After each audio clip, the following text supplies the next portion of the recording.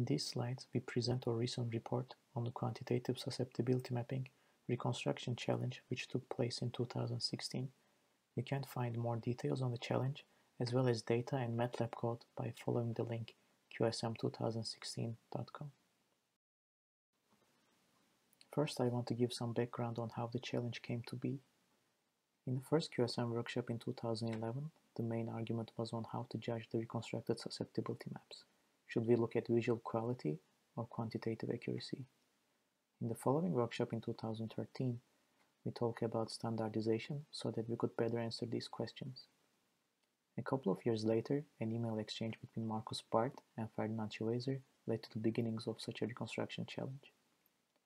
At ISMRM 2016, we actually announced the challenge, and several months later, we announced the results in the fourth QSM workshop that took place in Graz, Austria. Early concepts for QSM reconstruction date back to a decade ago, and more refined methods have been continuously developed to allow reconstruction from single head orientation in a clinical setup with low reconstruction artifacts. This allowed QSM to attract a high number of researchers.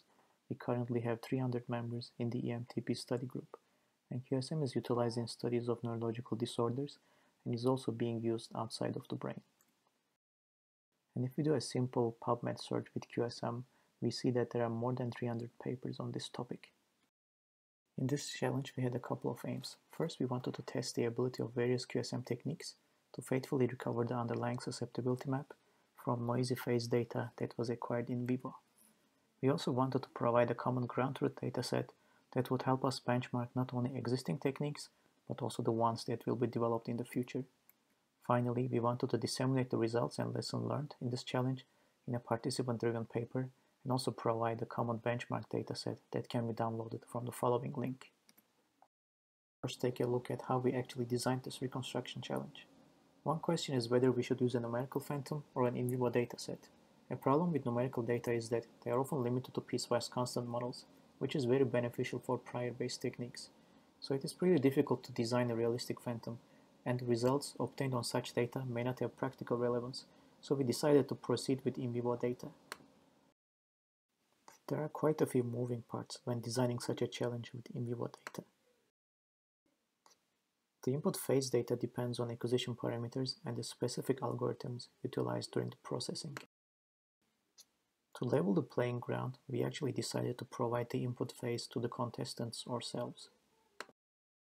Each reconstruction technique has certain parameters that affect its performance. To ensure that each algorithm performs as good as it possibly can, we provided the ground truth susceptibility map to the contestants.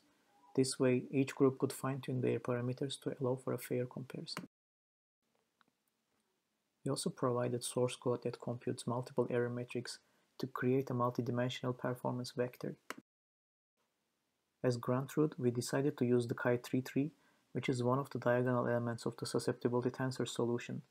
With this, we aim to mitigate orientation dependence and anisotropy effects, but I will come back to this point later. In terms of data acquisition, we provided single orientation GRE phase data chi-3 to serve as ground truth, Cosmos solution, as well as MPRAGE and GRE magnitude to serve as structural priors if needed. We also provided MATLAB code to compute TKD and closed-form L2 reconstructions for benchmarking and functions to evaluate performance metrics. For this dataset, a healthy female was scanned at a 3T system using Wave-CAIPI acquisition and 12 orientations were sampled at about 1.1 mm isotropic resolution. We used long echo time to provide high phase contrast, and each head orientation took about 90 seconds at 15 fold acceleration. We used Roemer coil combination for optimal SNR in the combined complex signal, and further details can be found in the referenced publication. Let's take a look at the challenge dataset. We provide the GRE magnitude data to serve as structural prior. We also made an MPRAGE contrast available if needed. Raw phase data after brain masking was also available. This made it possible for single-stack algorithms to be included in the reconstruction challenge. This is what the unwrapped phase data looked like. After LBV background filtering, we obtained this foreground phase information. You might notice the central darkening effect due to B1 plus contributions. To mitigate these, we employed polynomial fitting and obtained this final tissue phase data, which was made available to the users. Finally, we also made the entire phase processing pipeline available in this location, which might help inform future QSM applications. For completeness, we provided the Cosmos solution from 12 head orientation. But for ground truth reference QSM, we actually employed the Chi33 element of the STI solution. And finally, we released the tissue phase data from all 12 head orientations in case they are helpful in future studies. To evaluate the reconstructions, susceptibility maps calculated from single orientation data were tested against the gold standard Chi33 using the following metrics root mean squared error, high frequency error norm, as well as structural similarity index. We also looked at quantitative accuracy in major deep gray matter nuclei and white matter regions of interest. We were lucky to have 27 contributions from 13 groups around the globe. The winner in the RMSE category was the UBC group. In their method, they divided the k-space of phase data into ill-conditioned and well-conditioned regions, and then they estimate the ill-conditioned data using compressed sensing. John group was the winner in the HFEN category.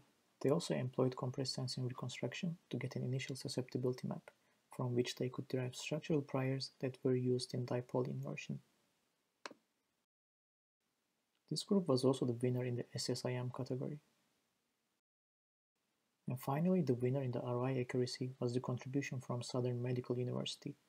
This technique employed total variation regularization, where different regularization parameters were selected for smooth and non-smooth regions. We thought that most of the winners suffered from oversmoothing and the reconstructed maps were relatively blurred. With help from my colleague Christian Langkammer, we tried to look into this in more detail. Using the Graz-TGV technique, we started increasing the regularization parameter. Already at a point where the images look too smooth, we obtained the best SSIM and ROI accuracy metrics.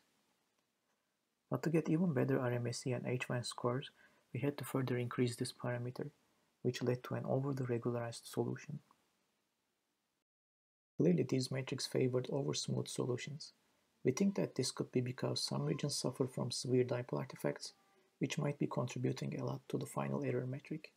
So we might have ended up cranking up the regularization to mitigate these, which also led to over-regularized solutions. We might later look into error maps to better understand this effect.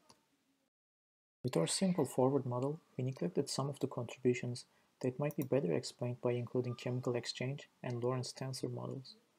Finding error metrics that better reflect the visual quality is another open question in our field.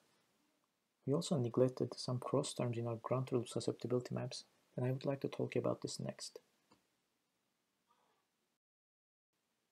According to the STI model, the relation between the observed phase data and the susceptibility tensor is captured by this equation.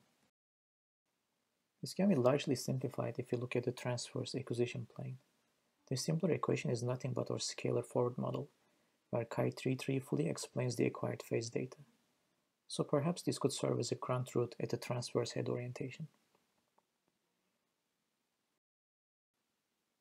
But there are actually a couple of more cross terms that contribute to the observed phase. Although we neglected these in our simple model, the cross terms don't seem to be negligible when compared to the Chi33 solution, so this indicates that Chi33 may not be the best possible ground truth. One of our winners, Christian Kames, helped us get a better understanding of this issue. What he did was to start from Cosmos and Chi33 solutions and forward simulate the phase data corresponding to this reference map. He saw that Cosmos provided a more consistent ground truth compared to the STI solution. In this figure, he has plotted the forward errors incurred by the two reference maps, where Cosmos is seen to yield lower differences. Despite these setbacks, we were happy to see that the challenge data as well as the error metrics are being utilized to develop the next generation of QSM algorithms such as these recently proposed machine learning methods. Going forward, we would like to capitalize on this experience and the lessons learned to develop a second reconstruction challenge. We are considering two concepts around which we could build the next challenge. We could start from realistic and complex numerical models to help quantify numerical accuracy. We have already collected some high-quality tissue parameter data, which has allowed us to build a comprehensive simulator. Secondly, we could focus on clinical utility of susceptibility maps and see which algorithm provides the most relevant and robust information in difficult clinical cases. We will talk more on this in the upcoming EMTP study group meeting in ISMRM 2018, and we look forward to your feedback. Thank you for your attention.